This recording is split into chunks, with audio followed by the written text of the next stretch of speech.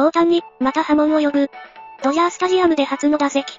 大谷の名前がコールされると、球場のファンは拍手で出迎えた。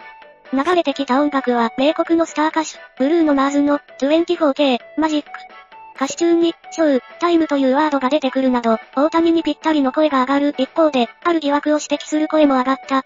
ブルーノ・マーズは、米ラスベガスの MGM グランドカジノでギャンブルに負け、5000万ドル、約75億円の負債を背負っているという報道が拡散された。MGM は否定しているが、大谷は20日付で元通訳の水原一平氏が違法賭博に関与した疑いで解雇されたばかりだった。大谷の新たな登場曲と家中の水原氏を結びつけるファンも少なくなかった。MGM カジノで巨額負債を負ったという噂があるブルーのマーズか。なんてフィットしているんだ。大谷の登場曲はブルーのマーズと皮肉を言うファンもいた。一平憎けや翔平まで憎い。ブルーのマーズってチビだから正反対だしな。なんでもかんでもイチャモンやな。賭博コンビで草。75億の博打の借金疑惑が出たばかりのブルーのマーズ、金持ちでも博打はやるといういい例でもある。ブルーのマーズも賭博で借金あるんか、75億とか草。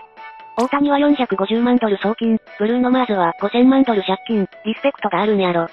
曲に罪はないやろ。オーヒールターンなら応援するで。金持ってる奴はギャンブルやらないって大谷信者が言ってた。点と点が繋がったな。